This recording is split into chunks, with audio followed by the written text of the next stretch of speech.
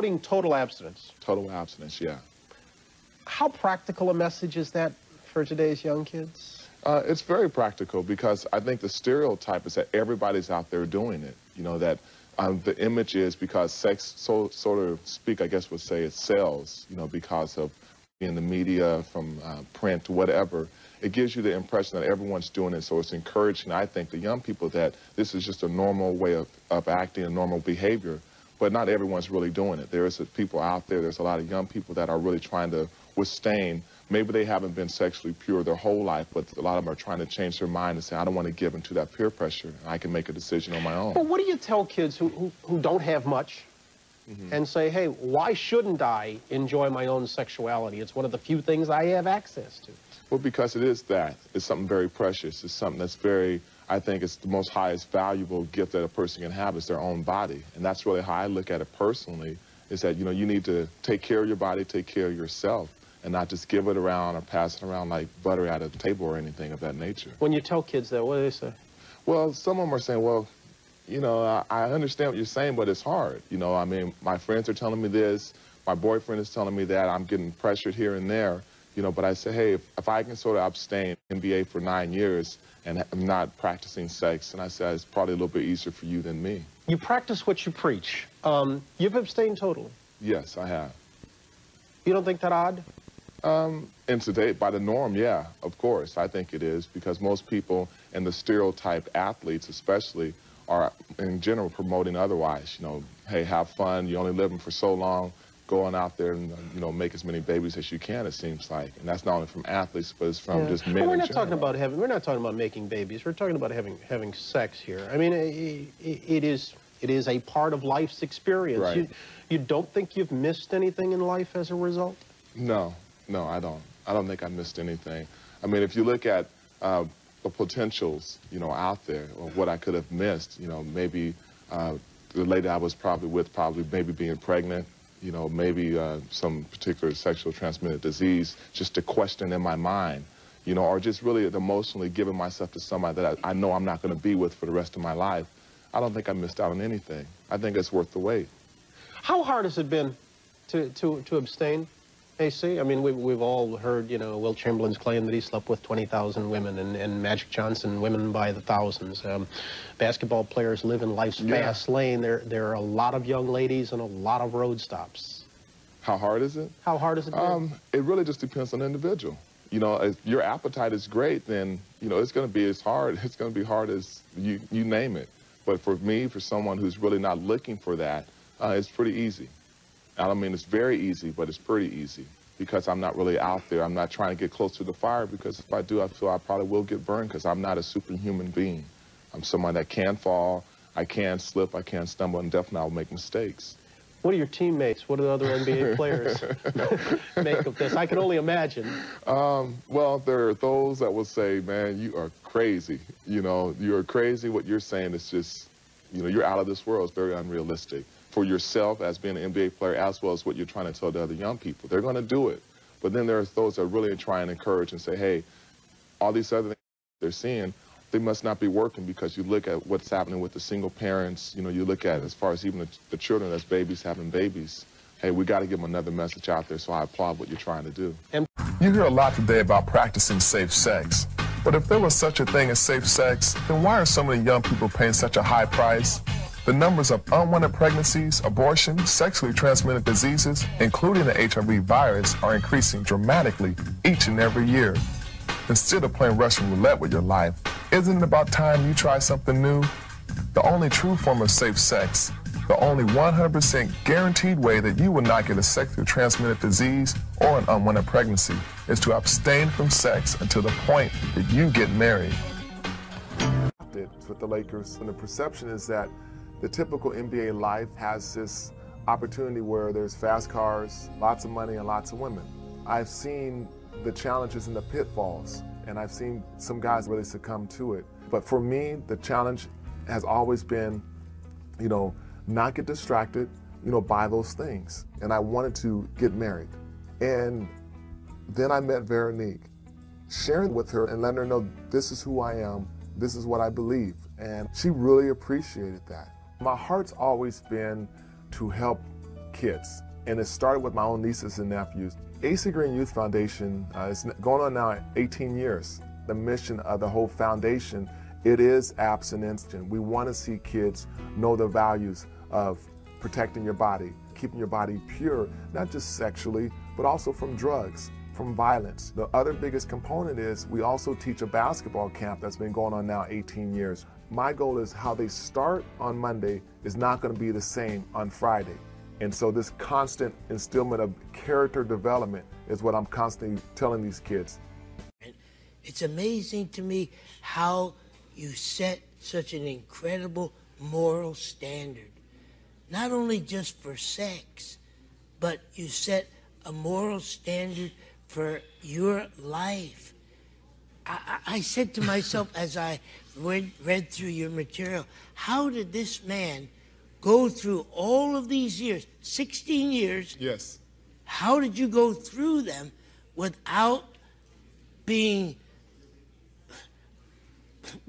coming under the influence of the worldly aspects? How did you do that? Well, you know, God's grace is so sufficient. I mean, we know where sin abounds, His grace will abound even much more and higher. We, we're always around temptation. We're always around the atmosphere of the dark elements. We can't get out of it because we're in this world. But when your heart is in your desire is to really want to know and see how you can please God and please Jesus, God will not only protect you, but He will give you the victory and the and the, the power to overcome those circumstances, elements you find yourself in. Temptations must have been oh, great. Oh, great. Morris. They were always there. You always have temptation, absolutely. But you know, the scripture I learned when I was 17 years old, that very day I said yes to Jesus, it was Matthew 6:33, which really says, "Seek first, Kingdom. seek not second, but seek first the kingdom of God and all of its righteousness, and all other things will be added unto you." You know, people are wondering, you know, they hear 16 years, you went all through this abstinence. Mm-hmm. What's your message to the young people watching today? You know, we, we developed a curriculum called Game Plan with inside of our AC Green Youth Foundation. And Game Plan is one that centers around character development, helping kids develop the character, the self-control, help them to understand, you know what, you can have the victory. You don't have to give in to peer pressure. You don't have to be confused by the media in some way. You have, you have to be able to understand what the media is suggesting to you to watch Right. as opposed to what's really good for you to watch. And this curriculum game plan is going into almost over 100,000 students' hands just this year alone, Morris. In the middle school to high school. how much? Over 100,000 kids. Yes, yes. And are you talk to young people. What, how how would you advise them if, if they are interested in trying to, to be a professional athlete? You know, I would say continue to go for the dream. Just as you said, I mean, you, you go for your passion. You out there, you you want to be a professional. You know, you want to be an entertainer, whatever the dream might Right. be. I don't care the, the profession, the occupation. Don't stop. Don't lose your desire. Don't lose your passion. Be the best. Be fully equipped. Prepare yourself. Do as much as you possibly can and just really allow and, and let the Lord really show, lead, and guide and direct you because the vocation needs a good witness. Mm-hmm. Okay, I'm a perfect prime example in the sense of a person who had done extraordinary things only by the grace of God. Amen. That's all that it takes. It's just the, the ability to let God use you where you are. I come from a small town, Portland, Oregon, um, in the wonderful state there itself, but at the same time, you know, I'm just willing, I was always ready and, and wanted to be used by God. Why? Because my journey, my life is not over because basketball is over. Correct. And so the identity is not just inside of that. So Right. if you land that wonderful career, always remember, and I always say, you know, you got to be able to have the character sustain where the talent is and to be able to surpass it and Mm-hmm. Right. keep you there. Amen. It's a good word. Good word. Hey, namaste, y'all. It's the White Magical Tiger. I hope you're having a beautiful day. So, how about that story? Uh, AC Green, 16 years celibate in the National Basketball Association, the NBA. And as I was walking over here to this uh, to this spot to film this video, I was just like, honestly, I'm not even sure if I could do that, y'all. To to be in that position where all these like basketball superstars are having all these women throw themselves at them. um, and to to stay true to his faith and stay strong and to go 16 NBA seasons. And not only that to be like one of the best players in the NBA they nicknamed him the Iron Man. And it's like look at that. I mean the semen retention made him the Iron Man. And you can see this in a lot of athletes uh, if you if you start to follow this that especially with like boxing or fighting they they won't orgasm for like the first like the six weeks leading up to it or the three months leading up to it. Um, I believe there was a quote for about like Muhammad Ali where they like they found out that he was uh, practicing semen retention and someone's like, yeah, that guy's gonna win it all um, because the competition, most of the competition, they don't have the discipline. Um, even if they want to do this, like there's a lot of men that want to do this, but they literally don't have the discipline to do it. It, it, it takes a, a unique man um, and the key part, I feel like, in AC Green's success is towards the end of that video where he starts talking about God. And I'm telling y'all, for y'all that are struggling and you want to be as successful as he was, uh, as some of these yogis, there's a quote that says essentially, I think it's from uh, Swami Vivekananda, the yogi. He says essentially, if you don't let one drop of semen uh, leave your body, you essentially become enlightened, something like that. And so on my journey with this, uh, as many of y'all know, I started watching porn when I was 10 years old. Around 17, 18, I learned about NoFap on Reddit, doing the 90 day challenge. And it wasn't until I was 25 years old that I was able to complete the 90 days of no porn, no masturbation, no orgasm. It took me eight years to complete this challenge. And the turning point was uh, when I started praying to God and and I'm telling y'all that, that, that that's like the focus of my of my videos recently is that if you truly want to be successful with this and successful in life, uh, we need God. And yeah, a lot of people might say like, oh, if you have a bunch of money, you're successful. And it's like, yeah, but then there's all these scriptures that say like, uh, it's easier for a camel to walk through the eye of a needle than it is for a rich man to enter to the kingdom of heaven. Um, another one says the root of all evil is the love of money. Not necessarily money, but the love of money. And uh, honestly, a lot of this financial success is um, it's great and all, but money is just a tool.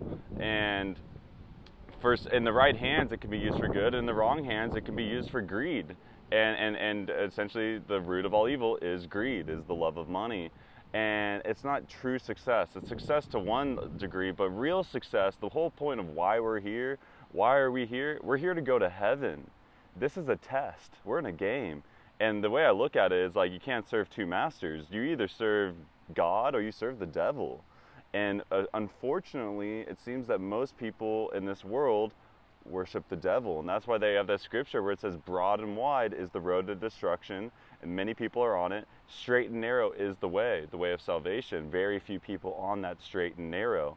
And uh, yeah, sadly, uh, people aren't focused on the right things. And I can tell you, if you're watching this video and you're focusing on the semen retention, the nofap, the monk mode, becoming a better version of yourself, you're on the path to heaven because uh, it's a straight and narrow path. It's not easy. It's not the broad and wide road that most people are on.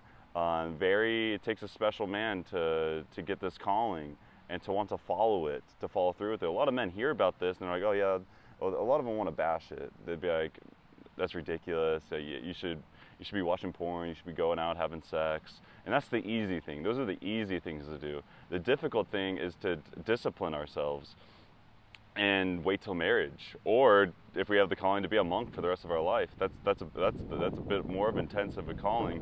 Um, but anyways, I find that I found this uh, AC Green very inspiring, and I love that essentially his relationship with God. And I know that, that if, if he did not have a relationship with God, I highly doubt he would have been able to, to pass all these tests, all these temptations. Um, and then it's very beautiful that uh, the year after he retired, uh, he got married as a virgin. And I'm assuming, I imagine he married a virgin as well.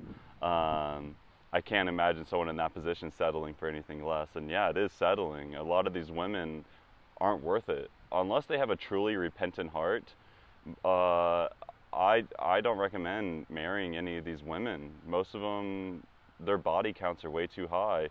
They've lost the ability the, the, the ability to pair bond.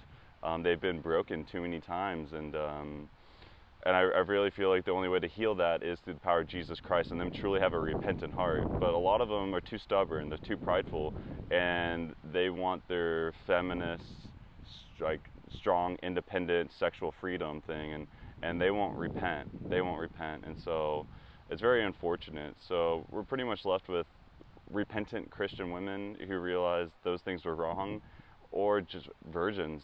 Uh, essentially, in this day and age, it's, it's pretty much like finding a unicorn. Um, and, and so I think it's really important to be on this no-fap journey. And I really feel like that kind of woman that I'm explaining would be a gift from God.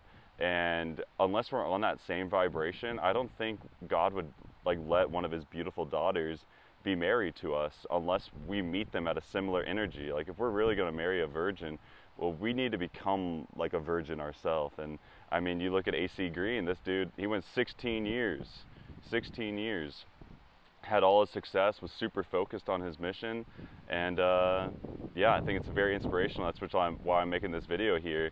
Uh, and why I'm dedicating this channel to this because I really feel like this is the foundation. Like if we if we can be focused on this, um, this can make us successful in other aspects of our life. And I feel like this is the area that men need the most help, and especially the young men, um, especially myself when I was 10 years old. I wish I had someone like this uh, sharing this info so that uh, I didn't have to experience the things that I experienced, and I could have saved, saved myself a lot of pain and heartache. And I'm hoping you all can learn from my mistakes as well. And so, yeah, if you uh, want to chat with me, you can hit me up on uh, Telegram. Uh, my username is White Magik Tiger. I'm offering donation-based phone calls. And if you want to talk about anything, if you want me to pray for you, because a lot of this stuff is spiritual, and uh, a lot of it is because the reason why we can't control ourselves, even though like we want to, we want to be successful at this so badly, the reason why we can't do it is because we're literally possessed with sexually transmitted demons. But fortunately, through the power of repentance, um, Jesus Christ can cast these demons out of us. And it's about it's a it's a combination of having faith in Him, um, repenting of our sins, uh, realizing that this is not the way, this is not the Tao. Um, and, true liberation, y'all, true freedom can come from this. And um, just speaking from my own personal experience of really struggling to be successful on the NoFap journey to developing a relationship with God and finding it a lot easier to be successful. And I want the same for you. And so if you want someone to chat to about this or about anything in general, it could be uh, fasting, dieting, exercise, uh, the politics of the world, World War III, the apocalypse, uh, whatever it is. There's a, there's a lot of things going on, or being the black sheep of the family. Uh, yeah, I, I'm here to chat with you. Uh, so just hit me up on Telegram, White Magik Tiger, and may God bless all y'all. Namaste. God, Krishna, Christ, Guru. God,